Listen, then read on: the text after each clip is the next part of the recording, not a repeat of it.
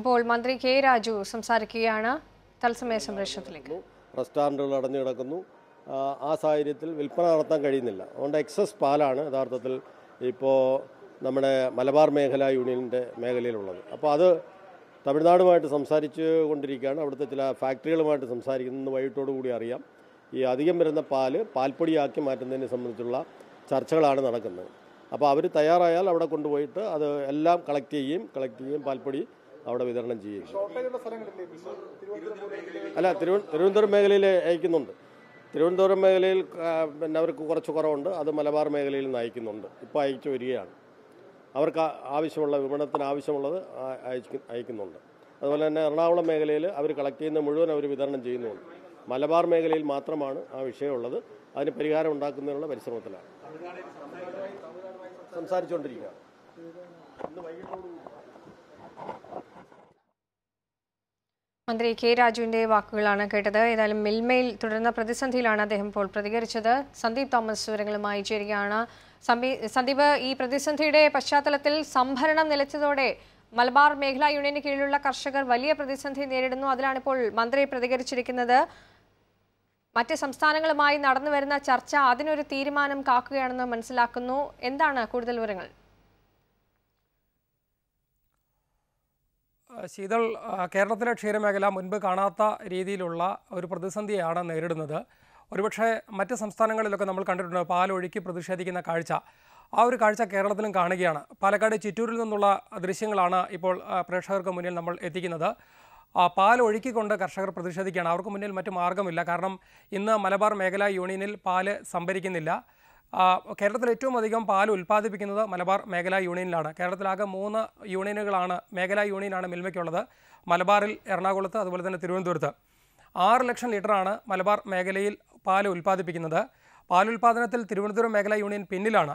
അപ്പോൾ മലബാറിൽ നിന്ന് പാൽ എത്തിച്ചിട്ടാണ് അവിടെ ആവശ്യമായ വിൽപ്പന ശരിക്കും നടത്തുന്നത്. അപ്പോൾ സ്വാഭാവികമായിട്ടും മലബാറിലെ കർഷകരുടെ പ്രതിസന്ധി തന്നെയാണ് വളരെ തീവ്രമായി നിൽക്കുന്നത്. ഇക്കഴിഞ്ഞ ഇരുപത്തിനാലാം തീയതി മിൽമ പാൽ സംഭരണം ഒരു ദിവസത്തേക്ക് നിർത്തിവെച്ചിരുന്നു അതുതന്നെ കർഷകരെ സംബന്ധിച്ച് വലിയ പ്രതിസന്ധിയിലേക്ക് കാര്യങ്ങൾ എത്തിച്ചു. ഇന്നിപ്പോൾ വീണ്ടും പാൽ സംഭരിക്കുന്നില്ല. നാളെ മുതൽ കർഷകരിൽ നിന്ന് പകുതി മാത്രം അതായത് ഒരു കർഷകൻ എത്രയാണോ കൊടുത്തു വന്നിരുന്നത് അതിന്റെ പകുതി മാത്രം സംഭരിച്ചാൽ മതിയെന്നാണ് തീരുമാനം. ഇതിന്റെ പശ്ചാത്തലം നമ്മൾ നേരത്തെ റിപ്പോർട്ട് ചെയ്തതാണ്. മന്ത്രി ഇപ്പോൾ സൂചിപ്പിച്ചതുപോലെ ലോക്ക്ഡൗൺ വന്ന സാഹചര്യത്തിൽ ഹോട്ടലുകൾ ചായക്കടകളെല്ലാം തന്നെ അടച്ചു. ഉൽപ്പാദിപ്പിക്കുന്ന ആകെ പാലിന്റെ ഏറെക്കുറെ പകുതിയിലേറെയും വാണിജ്യ ആവശ്യത്തിനാണ്. അതായത് ഹോട്ടലുകൾക്കും മറ്റും നൽകി നൽകുകയാണ് മിൽമ ചെയ്തിരുന്നത്. ഹോട്ടലുകളും മറ്റും അടച്ചതോടുകൂടി പാൽ അത്രയും ബാക്കിയായി. ഈ പാൽ പാൽപ്പൊടിയാക്കാൻ വേണ്ടി തമിഴ്നാട്ടിലേക്ക് കൊണ്ടുപോകാനായിരുന്നു തീരുമാനം. ഒന്ന് രണ്ട് ദിവസങ്ങളിൽ കൊണ്ടുപോവുകയും പാൽപ്പൊടി നിർമ്മാണം നടത്തുകയും മറ്റും ചെയ്തിരുന്നു. പക്ഷേ തമിഴ്നാട്ടിൽ തമിഴ്നാട് സർക്കാർ തമിഴ്നാട് മിൽക്ക് കോപ്പറേറ്റീവ് ഫെഡറേഷന് നിർദ്ദേശം നൽകി. ആവിൻ എന്ന പേരിലുള്ള ഒരു ഗ്രൂപ്പാണത്. അവർക്ക് നിർദ്ദേശം നൽകി. ഇനി കേരളത്തിൽ നിന്നുള്ള പാൽ സംഭരിക്കേണ്ടതില്ല. അതോടുകൂടിയാണ് കേരളത്തിൽ നിന്നുള്ള പാൽ തമിഴ്നാട്ടിൽ കെട്ടിക്കിടക്കുന്ന സാഹചര്യം ഉണ്ടായത്. തമിഴ്നാട്ടിലേക്ക് ഇനി പാൽ അയക്കാൻ കഴിയില്ല. കർണാടകയിലും അതുപോലെ തന്നെ ആന്ധ്രയിലും പാൽപ്പൊടി നിർമ്മാണ യൂണിറ്റ് ഉണ്ട്. അവിടേക്ക് അയക്കാനും ഇപ്പോഴത്തെ സാഹചര്യത്തിൽ കഴിയില്ല. മറ്റൊരു പരിമിതി കേരളത്തിന് മുന്നിലുള്ളത് കേരളത്തിന് സ്വന്തമായി ഒരു പാൽപ്പൊടി നിർമ്മാണ യൂണിറ്റ് ഇല്ല. നമുക്ക് ലഭിക്കുന്ന കണക്കുകൾ അനുസരിച്ച് ഒരു മാസം ഒന്നര ടൺ പാൽപ്പൊടിയാണ് കേരളത്തിൽ വിറ്റഴിക്കപ്പെടുന്നത്. പക്ഷേ മിൽമയ്ക്ക് ഇത്രയേറെ പാലുൽപാദനം ഉണ്ടായിട്ട് പോലും നമുക്ക് കേരളത്തിലൊരു പാൽപ്പൊടി നിർമ്മാണ യൂണിറ്റ് ഇല്ല എന്നുള്ള ഒരു പ്രശ്നമാണ്.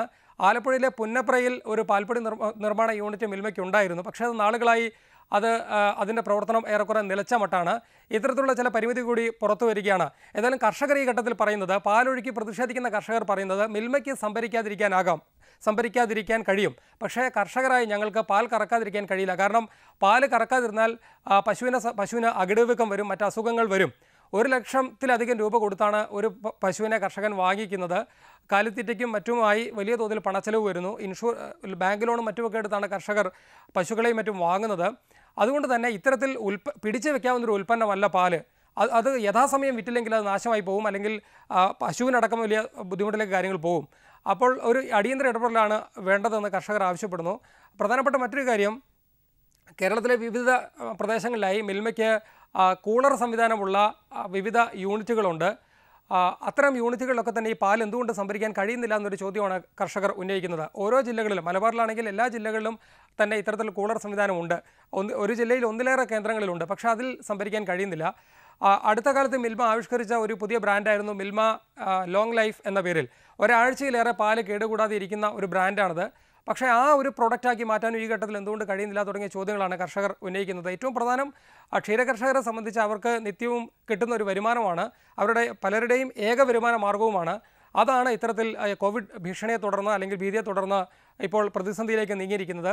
അതിന്റെ നിരാശയാണ് അവർ പാലൊഴുക്കിക്കൊണ്ട്. ഒരുപക്ഷെ ഉത്തരേന്ത്യൻ സംസ്ഥാനങ്ങളിലൊക്കെ കണ്ടിട്ടുള്ളതുപോലെ പാലൊഴുക്കിക്കൊണ്ട് അവർ പ്രതിഷേധിക്കുന്നത്. ഇന്ന് രാവിലെ നമ്മൾ കോഴിക്കോട് ജില്ലയിലെ പല ഭാഗത്ത് പോയപ്പോഴും കർഷകർ അവരുടെ പ്രയാസം നേരിട്ട് പറഞ്ഞു. ഏതായാലും ഇക്കാര്യത്തിലൊരു ഇടപെടൽ ഉണ്ടാകും എന്നാണ് മുഖ്യമന്ത്രി ഇന്നലെ വാർത്താ സമ്മേളനത്തിൽ സൂചന നൽകിയത്. തമിഴ്നാട് സർക്കാരിന് കത്തയച്ചിട്ടുണ്ട്. അതിലൊരു തീരുമാനം ഉണ്ടായില്ലെങ്കിൽ ശീതൽ തീർച്ചയായും കാര്യങ്ങൾ വരും ദിവസങ്ങളിൽ പ്രതിസന്ധിയിലേക്ക് പോകും. പകുതി പാൽ സംഭരിക്കുക എന്നുള്ളതൊരു അല്ല കാരണം കർഷകർക്ക് ഒരിക്കലും പകുതി പാലായിട്ട് കറന്നെടുക്കാൻ സാധ്യമല്ല. അപ്പോൾ ബാക്കി വരുന്ന പാൽ തീർച്ചയായിട്ടും അവർ വരുന്ന ദിവസങ്ങളിലും ഒഴുക്കിക്കളയേണ്ട ഒരു സാഹചര്യമാണ് വരുന്നത്. സന്ദീപ് തുടരുക. ഏതായാലും ഈ കർഷകരുടെ പ്രതിഷേധമാണ് ഈ ഒരു പ്രശ്നത്തിൽ പാൽ സംഭരണ പ്രതിസന്ധിയിൽ ഇപ്പോൾ വലിയൊരു സമസ്യയായി മുന്നിൽ നിൽക്കുന്നത്. പാലക്കാട്ടെ ദൃശ്യങ്ങളാണ് കാണുന്നത്.